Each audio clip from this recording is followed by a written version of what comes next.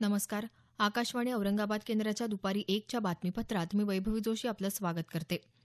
चीनमध्ये ग्वांगझू इथं झालेल्या जागतिक बॅडमिंटन महासंघाच्या वर्ल्ड टूर फायनल स्पर्धेत आज भारताच्या पी व्ही सिंधूनं महिला एकेरीचं विजेतेपद पटकावलं. आज झालेल्या अंतिम फेरीत सिंधूनं जपानच्या नोझोमी ओकुहाराचा एकवीस एकोणावीस एकवीस सतरा असा पराभव केला. सिंधूचा दोन हजार सोळा साली या स्पर्धेत उपांत्य फेरीत पराभव झाला होता. तर गेल्या वर्षी अंतिम फेरीत पराभव होऊन तिला उपविजेतेपदावर समाधान मानावं लागलं होतं. पंतप्रधान नरेंद्र मोदी आज एक दिवसाच्या उत्तर प्रदेशच्या दौऱ्यावर असून त्यांनी रायबरेली इथं रेल्वेचे डबे बनवण्याच्या कारखान्याची पाहणी केली. यावेळी त्यांनी हमसफर रेल्वेगाडी आणि कारखान्यात तयार झालेल्या नऊशेव्या वाघिणीला हिरवा झेंडा दाखवून रवाना केलं. रायबरेली इथं विकास प्रकल्पांचं उद्घाटन केल्यानंतर ते प्रयागराज इथं कुंभमेळ्यासाठी अत्याधुनिक नियंत्रण कक्षाचं उद्घाटन करतील. पुढच्या दोन ते तीन वर्षात भारत ट्रिलियन डॉलर्सची डिजिटल अर्थव्यवस्था बनेल असा विश्वास माहिती तंत्रज्ञान आणि इलेक्ट्रॉनिक्स मंत्री रविशंकर प्रसाद यांनी व्यक्त केला आहे.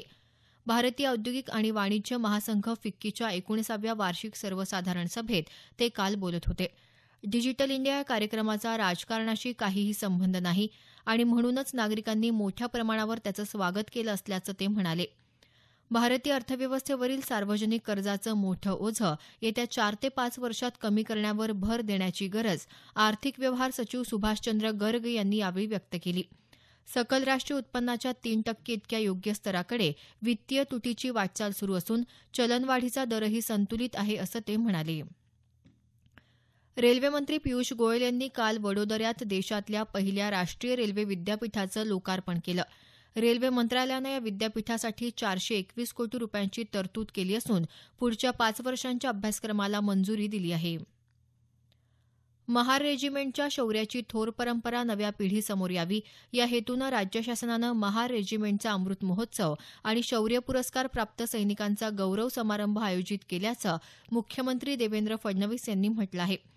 सामाजिक न्याय आणि विशेष सहाय्य विभाग डॉक्टर बाबासाहेब आंबेडकर संशोधन आणि प्रशिक्षण संस्था बार्टी आणि नागपूरचं डॉक्टर बाबासाहेब आंबेडकर समता प्रतिष्ठान यांच्या संयुक्त विद्यमानं मुंबईत काल महार रेजिमेंट अमृत महोत्सव आयोजित करण्यात आला होता.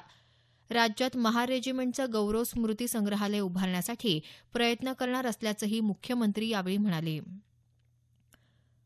कमी खर्चात अधिक उत्पादन देणाऱ्या रेशीम शेतीला प्रोत्साहन देण्यासाठी रेशीम ग्रामचा उपक्रम राबवण्यात येत असून या माध्यमातून अर्थसहाय्यासह बाजारपेठ उपलब्ध करून देणार असल्याची ग्वाही सहकार आणि वस्त्रोद्योग मंत्री सुभाष देशमुख यांनी दिली. नागपूर इथं काल महारेशीम अभियान दोन हजार एकोणावीसचा राज्यस्तरीय प्रारंभ देशमुख यांच्या हस्ते झाला त्यावेळी ते बोलत होते. रेशीमची मागणी जगात वाढत असताना राज्यातल्या रेशीम उत्पादनाला प्रोत्साहन देण्याचं धोरण तयार करण्यात आल्याचं त्यांनी सांगितलं. रेशीमग्रामच्या माध्यमातून शेतकऱ्यांना एकाच ठिकाणी सर्व सुविधा उपलब्ध करून देण्यात येणार असून कोष ते कापड ही संपूर्ण प्रक्रिया क्लस्टरच्या माध्यमातून राबवण्यात येणार असल्याचं देशमुख म्हणाले. पुण्यात सुरू असलेल्या सहासष्टाव्या सवाई गंधर्व भीमसेन संगीत महोत्सवाची आज सांगता होत आहे. काल या महोत्सवात खासदार शरद पवार यांच्या हस्ते युट्यूबवरच्या भीमसेन स्टुडिओ या वाहिनीचं उद्घाटन झालं. तसंच कालच्या सत्रात दत्तात्रय वेलणकर सावनी शेंडे श्रीनिवास जोशी देवकी पंडित यांचं गायन तर उस्ताद शाहिद परवेज यांचं सतारवादन झालं. भारत आणि ऑस्ट्रेलिया दरम्यान पर्थ इथं सुरू असलेल्या दुसऱ्या कसोटी क्रिकेट सामन्यात आजच्या तिसऱ्या दिवशी भारतानं कर्णधार विराट कोहलीच्या शतकी खेळीच्या बळावर पहिल्या डावात दोनशे त्र्याऐंशी धावा केल्या. कोहलीनं एकशे तेवीस अजिंक्य रहाणेनं एक्कावन्न ऋषभ पंतनं छत्तीस चेतेश्वर पुजारानं चोवीस तर हनुमा विहारीनं वीस धावा केल्या.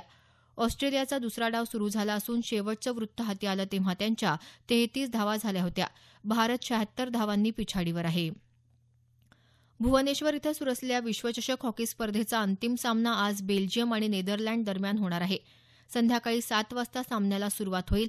बेल्जियमनं इंग्लंडला सहा शून्य तर नेदरलँडनं ऑस्ट्रेलियाला चार तीन अशा गुणफरकानं हरवत अंतिम फेरीत मजल मारली आहे. याबरोबरच हे बातमीपत्र संपलं. आमच्या नंतरचं बातमीपत्र सायंकाळी सहा वाजता.